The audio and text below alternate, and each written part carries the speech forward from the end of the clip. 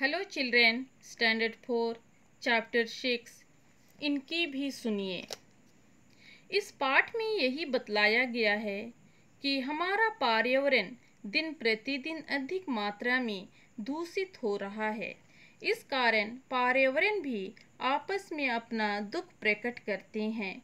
तो आइए बच्चों, इस पाठ में हम देखेंगे कि हमारा पर्यावरण कैसे दूषित हो रहा है और पर्यावरण को हम दूषित होने से कैसे बचाया जा सकता है? छुट्टियों के दिन थे।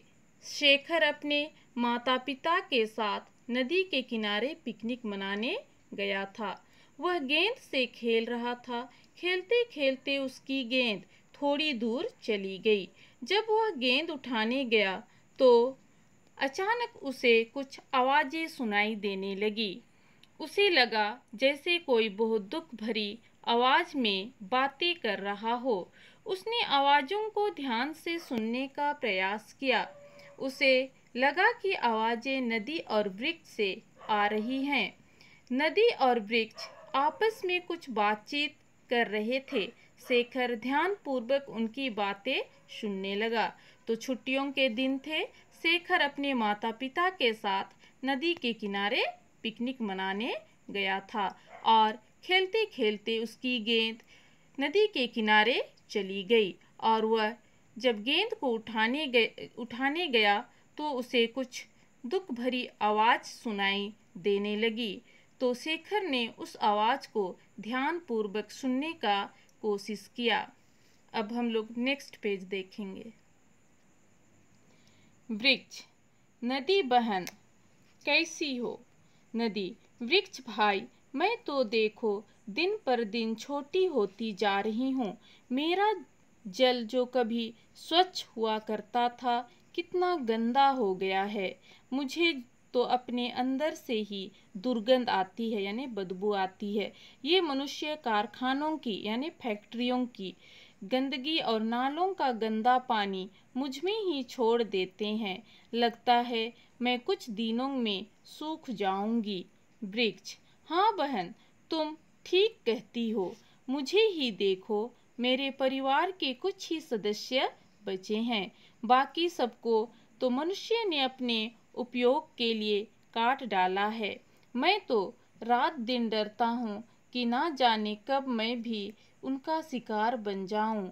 हवा बहन, तुम बताओ तुम्हारी क्या दशा है? हवा मेरा जो हाल है, वह मत ही पूछो। मेरा तो दम घुटने लगा है। कारखानों से और वाहनों से निकलते धुएँ ने तो मुझे बीमार कर दिया है। वृक्ष भाई, तुम्हारी संख्या जब अधिक थी, तब तुम मुझे साफ़ कर देते थे। अब तुम्हारी संख्या कम हो जाने के कारण मेरी बीमारी बढ़ती जा रही है। मिट्टी मेरी दशा भी तुम सबके जैसी है। मनुष्य के लिए अन्न, फल उपजाते उपजाते तो मेरी शक्ति ही समाप्त हो गई है। मनुष्य मुझे अधिक अन्न, फल और सब्ज़ियाँ चाहता है, इसलिए रासायनिक उर्वरक यानी रासायनिक खाद डालता है और मुझे रोगी बना देता है यानी बीमार बना देता है।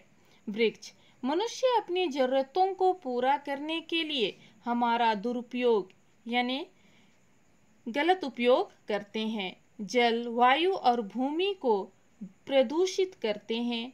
अगर ये ऐसा ही करते रहे तो हम नष्ट हो जाएँगे, और यदि हम ना रहे तो मनुष्य भी नहीं बच पाएगा। शेखर, आप सब घबराइए मत। अब मनुष्य आपके महत्व को जान रहा है। पुस्तकें, समाचार पत्र रेडियो, टीवी ऐसे बहुत से साधन हैं जिनसे मनुष्यों को प्रदूषण ना फैलाने की और वृक्ष ना काटने की शिक्षा दी जा रही है। वृक्ष, नदी, मिट्टी और हवा, क्या तुम सच कह रहे हो? शेखर, एकदम सच। चलो, अब सब मुस्कुरा दो। शेखर की मम्मी उसे ढूंढती हुई आई और हाथ पकड़ कर ले गई।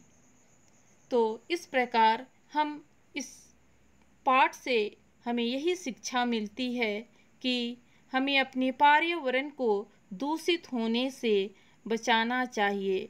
बच्चों, मैं आशा करती हूँ कि आप इस चैप्टर को अच्छी तरह से समझ गए होंगे। अब हम लोग देखेंगे कठिन शब्दों के अर्थ। प्रयास, कोशिश स्वच्छ, साफ़, दुर्गंध, बदबू, उपजाते, उगाना, उर्वरक वह रासायनिक खाद जो भूमि की उपजाऊ शक्ति बढ़ाए, रोगी, बीमार, दुरुपयोग, गलत उपयोग, प्रदूषण दूषित करना या दोषयुक्त बनाना। अब हम लोग अभ्यास की ओर जाएँगे। Page number forty, question number three. एक शब्द में उत्तर बताइए। का नंबर? शेखर अपने माता पिता के साथ कहाँ गया? आंसर? शेखर अपने माता पिता के साथ कहाँ गया? नदी के किनारे। खा नंबर? शेखर को कैसी आवाज़ें सुनाई देने लगी? आंसर? दुख भरी। गा नंबर? नदी का जल कैसा हो गया? आंसर? गंदा। घा नंबर, वृक्ष को किस बात का डर था? आंसर, काटे जाने का। नेक्स्ट क्वेश्चन, एक वाक्य में उत्तर लिखिए। नदी का जल किस कारण प्रदूषित हुआ? आंसर, कारखानों की गंदगी और नालों का गंदा पानी मिलने के कारण नदी का जल प्रदूषित हुआ। ख नंबर, मनुष्य के किस व्यवहार के कारण वृक्ष दुखी था। आंसर, मनुष्य अपनी ज़रूरतों को पूरा करने के लिए वृक्षों को काटते रहते हैं, इसलिए वृक्ष दुखी था। ग नंबर, हवा ने अपनी बीमारी का क्या कारण बताया? आंसर, हवा ने कारखानों से निकलने वाले धुएँ को अपनी बीमारी का कारण बताया।